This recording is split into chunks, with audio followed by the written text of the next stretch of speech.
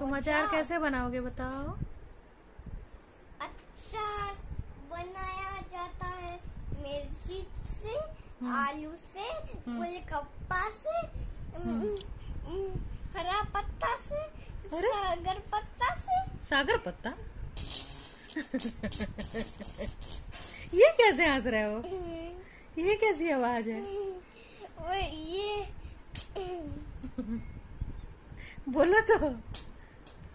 अचार कैसे बनाओगे? औज़ार औज़ार से मैं ठीक कर दूँगी। औज़ार नहीं अचार। नहीं औज़ार। अचार कैसे बनाओगे बताओ औज़ार। सुनो सुनो मंडल अंकल लाए हैं अचार का सामान।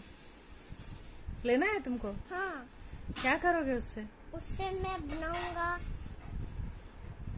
अचार को पानी दूध को पानी में उबाल के दूध अचार में मैं दूध डाल दूँगा अच्छा फिर क्या करोगे? उसके बाद मैं उसमें गोलगप्पा मिर्ची थोड़ा चीनी और नमक डाल दूँगा। अच्छा और? और एक साग बत्ता। क्या? और एक साग बत्ता। साग पत्ता भी डाल दोगे? हाँ। ओह फिर टेस्टी बनाने के लिए क्या डालोगे उसमें? टेस्टी बनाने के लिए मैं ग्लूकोज डालूँगा। वाह अचार तो मस्त बनेगा। जूस और शरबत